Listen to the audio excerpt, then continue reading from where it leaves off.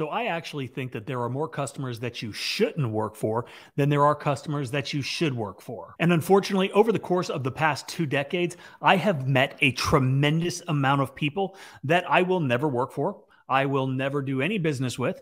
And there are a multitude of reasons for that. When I first started my business, I was marketing to the wrong demographics because I was marketing to all demographics. And those are the wrong demographics. You need to narrow it down and you need to have a more precise approach to who you are going after. I was marketing to the wrong neighborhoods. I was marketing to the wrong people. I was marketing to people that didn't have money. I was marketing to people that never had any intention whatsoever of reinvesting in their properties, of performing basic maintenance. These are not the type of people that you want to spend your advertising dollars, your marketing dollars trying trying to go after because you will never see a return on your investment. Quote IQ has teamed up with the window cleaning resource to give away a window cleaning business starter kit. All you have to do is download Quote IQ on the Apple or the Google Play Store, and you have to become a premium or platinum subscriber to be entered to win. Be sure to check out the WCR for all your window cleaning needs. We are going to be announcing the winner on August 1st. I was using the shotgun approach, which obviously has a much lower ROI than that of a precision marketing strategy. But the most important thing about any marketing strategy is identifying the best customers.